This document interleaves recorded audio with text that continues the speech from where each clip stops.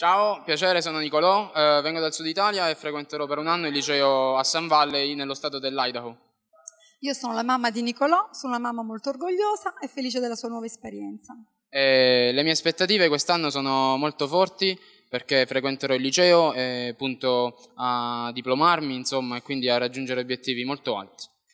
Un anno sarà molto lunga rispetto all'anno scorso che è stato via soltanto per un mese ed è stato anche abbastanza.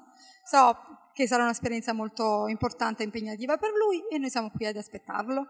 Ciao, Ciao, arrivederci, al arrivederci. prossimo anno. Ciao, ciao.